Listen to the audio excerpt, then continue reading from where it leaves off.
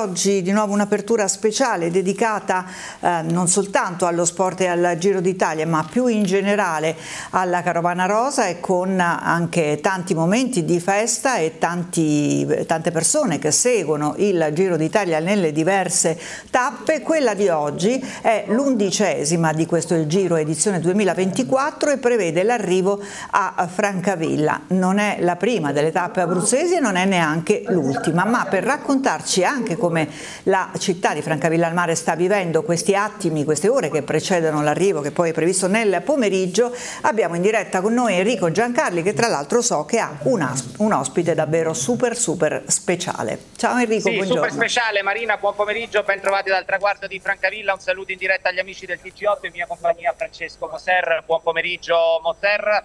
Intanto diamo quelle che sono le ultime sulla tappa che arriverà intorno alle 17 qui eh, al Teatro del Mare di Francavilla, tre uomini al comando, tra cui due della Lisma Visa Bike che questa mattina ha perso anche Chan Jutebrooks, la maglia bianca dopo Olof Koi per un problema eh, di salute, ma eh, tutto fa pensare alla volata di gruppo con Jonathan Milan, già vincitore lo scorso anno a San Salvo, grande favorito con Tim Merlier e Alberto Denisi. Francesco Moserra, che tappa sarà? Beh dovrebbe essere ipervelocisti se non se la fanno scappare perché le fughe insomma ci sono tanti corridori che per vincere devono andare in fuga. Però il finale è molto veloce col vento a favore. Sarà qualche problema una volata perché invece il vento sarà contro si torna indietro praticamente rispetto alla, alla marcia che viene da sud e bisognerà stare attenti nella volata di non scoprirsi troppo presto, però Milan è un uomo potente che forse è favorito in una situazione del genere. Francesco Moser in Abruzzo non solo è famoso, è famosissimo, qui un po' di più perché con Palmiro Masciarelli avete scritto la storia.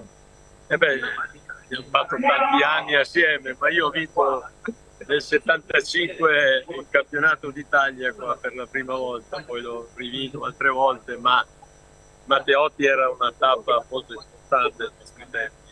Adesso tutte queste gare hanno perso un po' di importanza perché col cambiamento del calendario eh, non c'è più quell'interesse che c'era Però qui col giro eh, siamo arrivati al blockhouse quando ho preso la maglia rosa che avevo presa alla crono iniziale al prologo, poi il Pignon me la strappata con la cronometro a squadre, poi qui l'ho ripresa, poi il Pignon me l'ha ripresa di nuovo, ma alla fine a Verona l'ho riconquistata. Grazie, buon giro a Francesco Ciao. Moster, restiamo un attimo in linea Marina perché abbiamo il sottosegretario Damario qui in diretta con noi.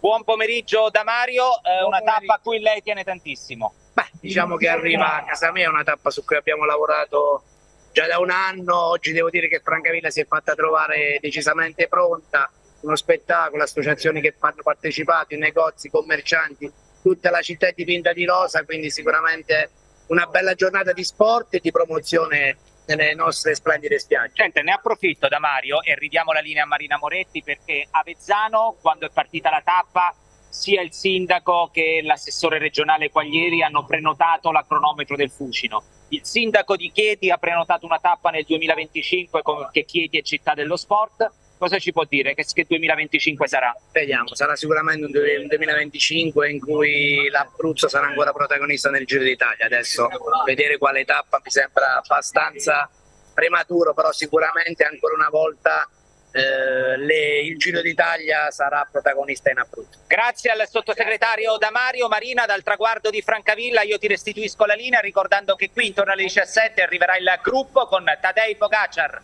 in maglia rossa e tutti attendono la volata della maglia ciclamino di Jonathan Milan. A te.